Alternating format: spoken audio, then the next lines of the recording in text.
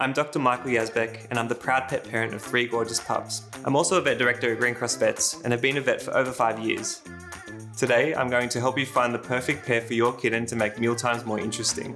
We'll be adding in a combination of dry food with different varieties, such as raw, fresh, and frozen, with specific bowl recipes that are vet approved. A healthy pet starts with the right nutrition and a diet that's complete and balanced and has all the nutrients your kitten needs to thrive. The first bowl I'm going to make is a dry and wet bowl. First I'll add in Hill's Kitten Dry and Hill's Kitten Wet, a great mix of texture and flavours for a growing kitten. Textured food creates a fun and interesting combination when added to any dry food base.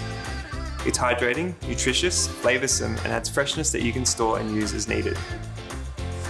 Next we have a raw and dry combination diet, paired with a Royal Canin Kitten Dry base and Pet's Daily Cat Mints.